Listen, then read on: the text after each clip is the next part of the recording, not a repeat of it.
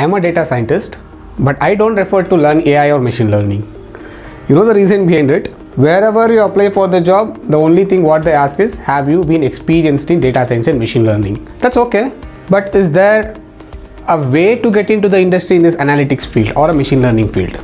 You must always understand don't ever directly go for AI or machine learning.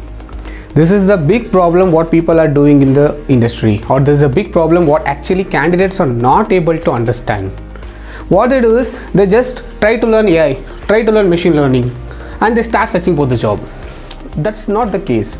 What we need to actually do is we must understand the code. Let me say that you are already 3 plus experience or 5 years experience in some mechanical industry or 6 plus years experience in some banking and finance industry or some 8 years experience in customer support but you already have an experience correct? Why don't you use that experience? That's something which is very very important. Use your experience learn some technology then merge it start applying for the job. What you mean by learn some technology? A data analyst is a person where he always requires that domain knowledge. That domain knowledge is something it can be on the medical or it can be on the mechanical or it can be on the banking and finance anything for that matter since you already good at your domain you learn the technology.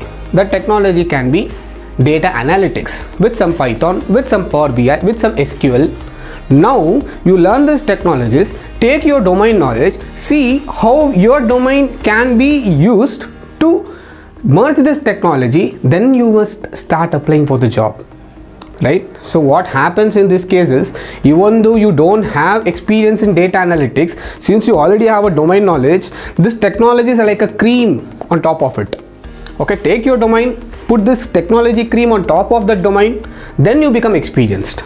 Okay this is what people need to understand. So if you want to become a data analyst then the only case is take your domain and learn these technologies so that you can become a data analyst but not AI ML engineer directly Thank you.